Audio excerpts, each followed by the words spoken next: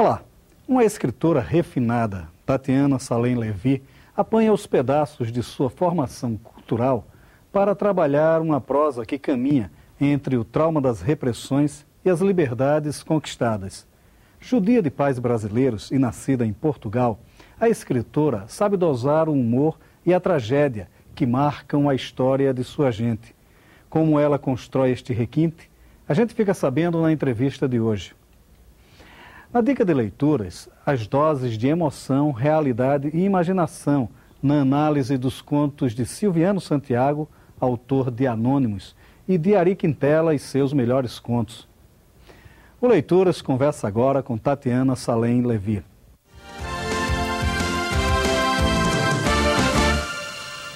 Tatiana, bom, você organizou o livro Primos, que, que é um livro de contos que fala exatamente dessa relação entre árabes e judeus, né? mas de uma maneira curiosa, porque é a visão do escritor brasileiro, né? quer dizer, que fez já uma, uma outra leitura da história. Né? Quer dizer, como é que nasce o livro, como é que vocês pensaram este livro? Eu organizei esse livro junto com a Adriana Armoni, que é uma escritora também da Record, como eu. E nós duas tivemos a mesma ideia ao mesmo tempo, mas separadamente. E falamos com a Luciana Vilas Boas, que é nossa editora. Então a Luciana botou a gente em contato falou: olha, a Adriana também teve essa ideia. Então a gente se encontrou, justamente porque era um momento de, de guerra, do, em que o conflito no Oriente Médio estava mais. É, exaltado, digamos assim. Então a gente e, e, a partir daí a gente via como os brasileiros de forma geral eles têm pouco conhecimento do que, que é a cultura árabe, do que, que é a cultura palestina, do que, que é a cultura judaica, né? E eh, então a gente quis fazer esse livro um pouco com o intuito de mostrar através da literatura como que são essas culturas e como que essas culturas estão presentes aqui no Brasil, né? E a imigração judaica e a imigração árabe, elas aqui tiveram foram muito harmoniosas, né? A gente tem pontos de, de convivência, como o Saara aqui na, no Rio, como a gente tem em São Paulo, como a gente tem em Porto Alegre, é, em que árabes e judeus convivem harmoniosamente. Né? E, e, foi assim em muitos lugares, é, em, muitos, em muitas épocas diferentes, né? como na Península Ibérica, por exemplo, que cristãos, é, muçulmanos e judeus conviveram durante séculos. Né? também no norte da África, mesmo no Oriente Médio. Então a gente queria mostrar que esse conflito é um conflito histórico, né? um conflito que, que, que é localizado num determinado local, num, num, determinado tempo, e que é um conflito entre primos, né? como a gente queria mostrar os pontos de convergência e os pontos de divergência entre essas culturas, que têm muito em comum. Então a gente chamou autores brasileiros, descendentes de árabes e de judeus, meio a meio, né? E pegamos de gerações diferentes. A gente quis abrir um espaço para novos autores e também chamar autores consagrados, como o Moacir Sclier, o Alberto Mussa, né? o Carlos Nejar, enfim. Então, que está com um filho, né? Com o, também, o tá Fabrício Carpinejar, é. né? É. Que é filho dele, que está também na antologia. Agora, é interessante, vocês começam o livro com uma apresentação onde fala exatamente dessa profunda ligação dessa identidade, né, desse parentesco, dessa intimidade entre árabes e judeus, né? Uh, e falando sobre o mesmo tronco, pelo menos cultural, né? Uh, quer dizer, como é que se dá isso, né? Quer dizer, como é esse contexto histórico que vocês acabam é, situando árabes e judeus? É, os dois povos são semitas, né? Tem a mesma origem ali no, no Oriente Médio, inclusive tem a mesma origem bíblica. Depois, cada povo conta um pouco a história da sua forma, mas são, eles são de fato primos na origem, né? É, então a gente quis um pouco trabalhar com, com, com, esse ponto de convergência, assim, digamos, histórico e dessa busca da identidade, porque também são duas culturas que tem sempre essa busca pela identidade, que é sempre uma identidade difícil de, de você definir, né? O que, que é ser árabe? Né? São tantos os países árabes e depois árabe você pode ser muçulmano, você pode ser cristão, né? Então não é, enfim, você pode ter qual, qualquer religião na verdade, né? E, e, fazer parte de diferentes países. Então, que, às vezes a gente confunde muito isso, né? Confunde o árabe com, com o muçulmano, ou com alguns poucos países. Às vezes também tem gente que acha que, que turco é árabe, que iraniano é árabe. Então, a gente quis um pouco distinguir isso também. Assim como os judeus, que tem sempre essa questão, o que, que é ser judeu, né? É, eu acho que faz parte do judaísmo você se colocar a questão eu sou judeu, por que, que eu sou judeu? É uma, é uma etnia, né? é uma religião, é uma cultura, o que, que é isso? Então acho que essa busca pela identidade é uma marca muito forte nas duas culturas e a gente situou isso um pouco historicamente né, na introdução até trazer isso para o Brasil e colocar. E uma coisa interessante que a gente pediu para os autores é, entregarem para gente, assim, pessoalmente, um texto em que eles falassem das suas origens, porque a gente queria usar isso na introdução, até para ver como que, porque às vezes você tem escritores que são filhos de casamentos mistos e que têm uma relação muito muito mais fragmentada com a cultura de origem e outros que que têm isso de uma forma muito presente, que por exemplo estudou em colégio judaico ou que, ou que fala árabe com os pais, enfim. Então, a gente quis trabalhar um pouco com isso. E uh, os textos foram tão interessantes que a gente resolveu, em vez de colocar na introdução, usar isso no final. Então, depois dos contos, a gente tem os depoimentos dos autores, em que cada autor conta é, como é essa relação com a sua origem, né? como é que surgiu, por que, que ele se sente judeu, por que, que ele se sente árabe. Às vezes é só num prato de comida, nada mais, às vezes é, é de forma muito mais presente. Então... E essa coisa sempre é muito conflituosa. Né? Eu lembro de um depoimento do, é, do Moacir Clear, né? quando ele conheceu Samuel Ravé, é, e ele, apaixonado pela literatura do Ravé, foi, foi conversar com ele. E o Ravel o agrediu violentamente, né? Porque ele disse, eu não quero nada com esses judeus, eu não... e ele sendo judeu, né? Quer dizer, essa relação é muito conflituosa mesmo. E você, nesse depoimento que você fala, você dá um, um depoimento interessante, que você não pode contar nos dedos às vezes que entrou numa sinagoga, né? Mas mesmo assim você tem toda uma sentimentalidade judaica, né? Quer dizer, como é que se elabora isso? É, pois é, eu tenho a minha mãe e meu pai são judeus, né? Mas eu nunca fui criada assim com nenhuma religião, ao contrário, né? Com ateísmo mais do que sólido dentro de casa. É, estudei num colégio que se chama São Vicente de Paulo, ou seja, nada judaico, mas também não era assim tão católico. e, então o meu judaísmo ele veio muito através dos livros, assim é, através da literatura, através do Kafka, através da, da Clarice Lispector, de alguma forma, através do Benjamin, da Hannah Arendt, e dessa relação com o livro, né? Assim, eu, sempre, eu fui criada ouvindo que o saber é o, aquilo que é o seu é a sua, a sua maior propriedade, né? Porque aconteça o que acontecer, é o, é o que vai com você para onde você for. Então, acho que a minha relação com os livros, até mesmo com a viagem, com essa coisa da imigração, sempre tive muita curiosidade em relação a isso, em relação a ser estrangeiro. Então, eu sou completamente brasileira, mas algum, em algum lugarzinho eu sempre me senti um pouco estrangeira ali naquela coisa de, de repente, no colégio me definir como judia e aí ali você tem algum estranhamento, né? Então, eu acho que foi pela relação com a escrita, com os livros, com a questão do estrangeiro, muito por, e pela vontade de conhecer as culturas, assim, conhecer o mundo. Eu acho que isso é uma coisa que que é muito marcante assim na cultura judaica. Então, acho que o meu judaísmo vem muito daí. Agora é engraçado que o Havet, o Havet era muito judeu, né? E ele tem um texto que chama é, da mineralidade judaica, ou é, como é que é? Alguma coisa sobre Kafka e a Tonga da Mironga, não, não me lembro exatamente aqui do, do nome, mas está no, no livro que a civilização brasileira publicou com os ensaios reunidos dele.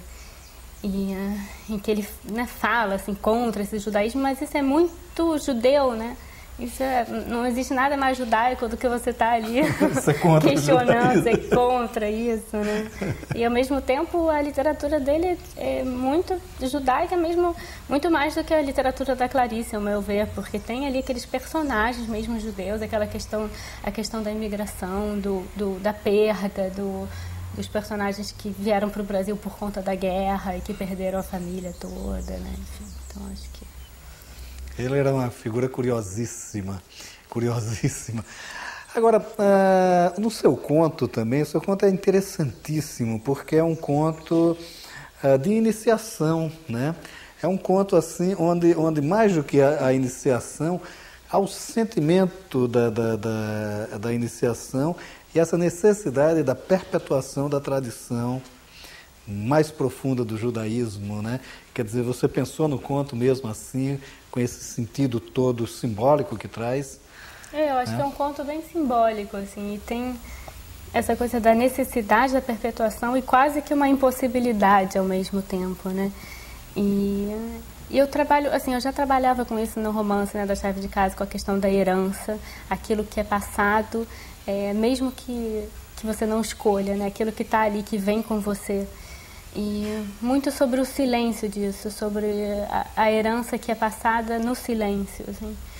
Então é um, é um conto de um, né, de um pai que já velho resolve contar para o filho a sua história e que é a história de um, de um cristão novo, mas que sempre manteve ali em segredo né, o judaísmo e que porque é uma coisa que eu descobri que era muito recorrente, inclusive no Brasil eu já ouvi histórias assim no Nordeste do Brasil de até hoje você ter resquícios desse, de fragmentos mesmo desse judaísmo que foi mantido durante anos, né, durante muitas gerações, em segredo de alguma forma, que ao mesmo tempo já não é aquele judaísmo, né, já não é assim o judaísmo, você tem um elemento ou outro e aquilo de que, que não quer morrer, né, que alguma coisa está ali. Então é um homem que manteve aquele segredo a vida inteira, mas não consegue morrer com aquele segredo, né? Então, antes, antes de morrer, ele precisa contar, precisa passar o legado.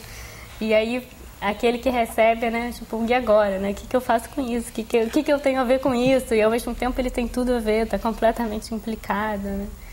Então, acho que a chave de casa é muito isso, né? Assim, que, que aquela personagem que recebe alguma coisa e fica, ai, que, que, que o que eu tenho que fazer? Eu tenho que fazer alguma coisa, não é meu, mas ao mesmo tempo é, né? Então. É tão íntimo, né? É. Eu tenho uma amiga que chega a dizer que ele, ele, ele só pode entender o chapéu comum, o chapéu de couro comum do sertanejo de uma única forma, porque é uma região que se precisa de aba e o chapéu não tem aba, né? Aquela coisa.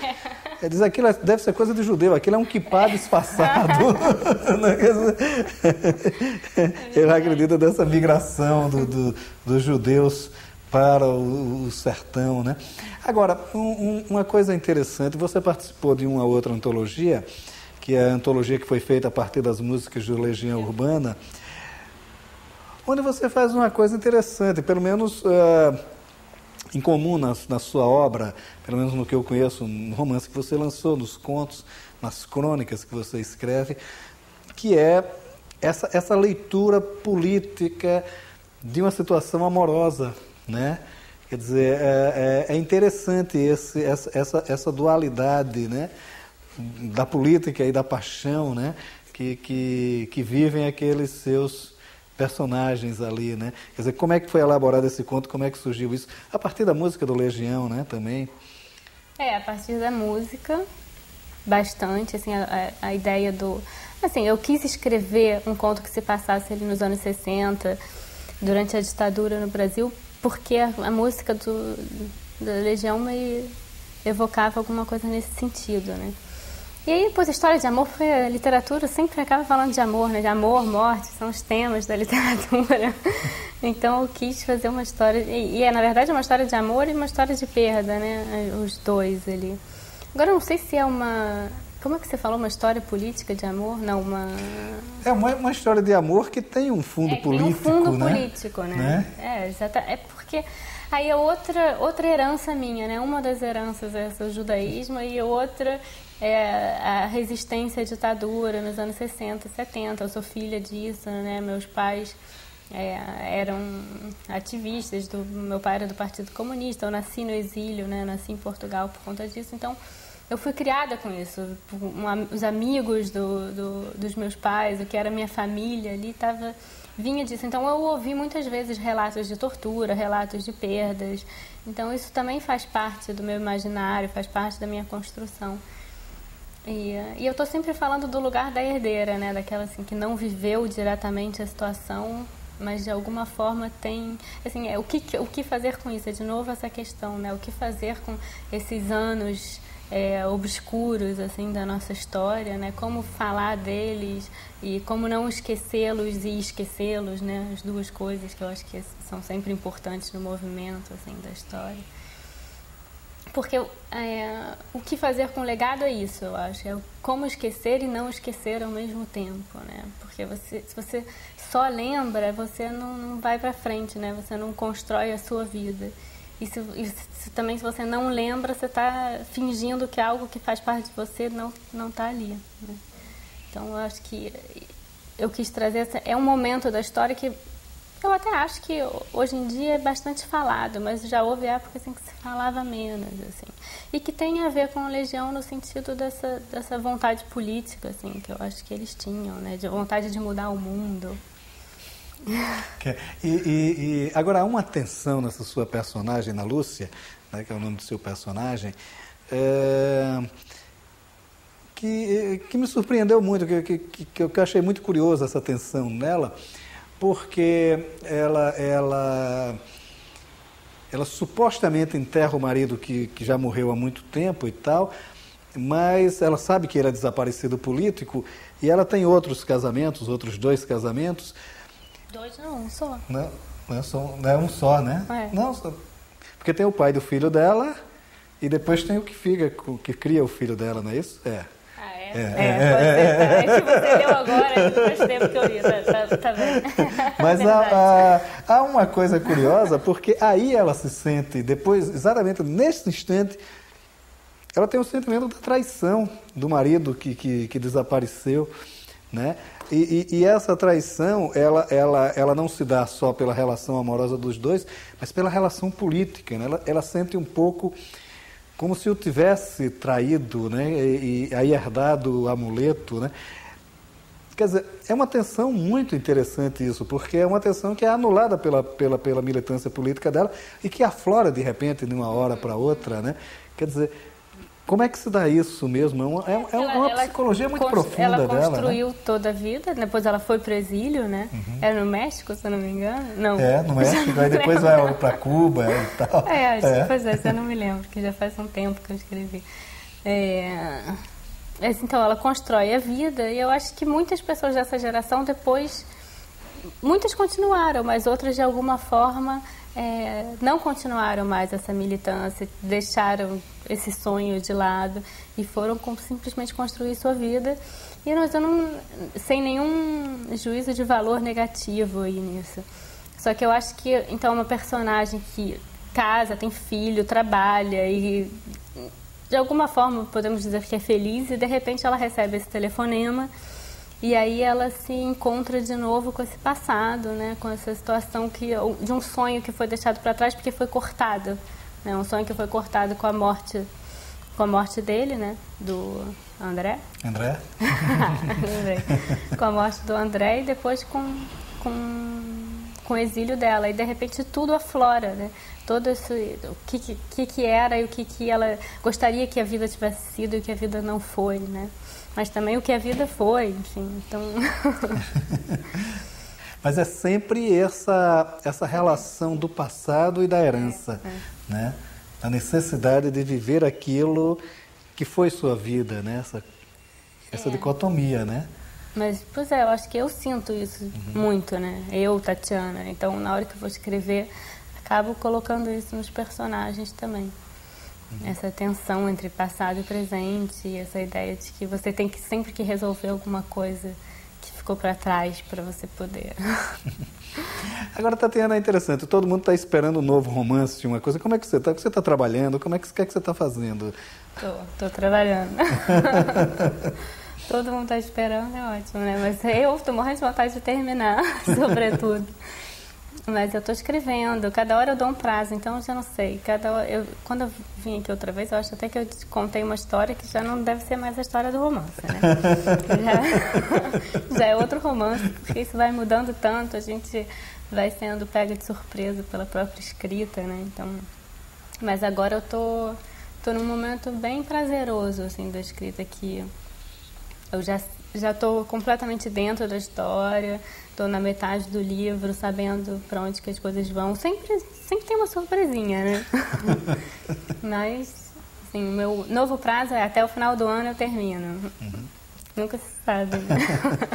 o Jorge Amado sempre dizia assim, quando ele estava escrevendo Dona Flor, que dizia, mas como essa dona Flor é safada? Ele não, resistia, né?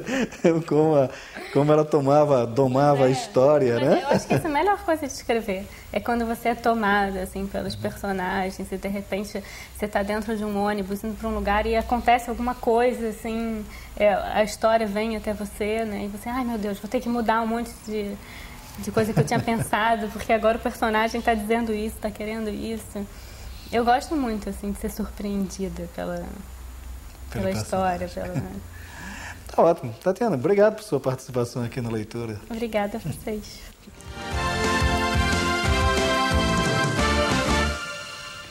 Os elementos da literatura. Não há uma regra, uma receita para se escrever textos de ficção. Estamos num terreiro de liberdade, onde tudo é permitido, desde que o resultado consiga, por qualquer amarra, prender o leitor. Há escritores, no entanto, que não abrem mão de três elementos: emoção, realidade e imaginação. É o caso de Silviano Santiago. Seu mais novo livro de contos, Anônimos, lançado pela Rocco, trabalha com estas dimensões. Partindo de vivências possíveis, Santiago cria e sensibiliza. Um dos grandes segredos e encantos da obra de Silviano Santiago é sua capacidade de vivenciar situações e ambientes diversos. Neste novo livro, seus personagens, quase sempre falando em primeira pessoa, transitam por vias que vai do Rio de Janeiro a Belém do Pará. Todos, no entanto, em comum, trazem pontos de alumbramentos. Uma fogueira que queima no quintal ou um casal que se consome num apartamento de Copacabana são as bases para Silviano, pelo lirismo, encantar o leitor. E este seu trabalho é que termina deixando nas entrelinhas o sentido real de sua prosa, olhar o homem em todas as suas possibilidades. Olhar o homem em suas possibilidades. A fórmula não é nova, circula por toda a história da literatura, mas há aqueles que sabem dar uma dimensão nova à prática.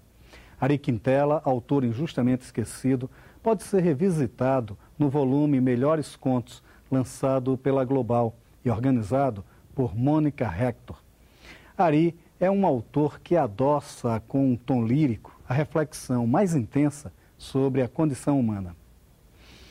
A característica mais visível da obra de Ari Quintela é sua relação com as coisas miúdas da vida. A paixão por um carro, uma viagem aérea, uma cena qualquer. No entanto, até por sua condição de diplomata, seu universo se amplia num sadio confronto de culturas e expressões. Daí seus contos ganham uma dimensão que vai além das paixões interiores, para olhar o homem como um ser cosmopolita por natureza. Ari parece nos dizer que não importa onde esteja o homem, importa sua condição humana e seus reflexos. Para olhar o homem em todas as suas vertentes, Anônimos, de Silviano Santiago, e Melhores Contos, de Ari Quintela. O Leituras de hoje fica por aqui e você bem pode ficar na companhia de bons autores e bons livros. Até nosso próximo encontro.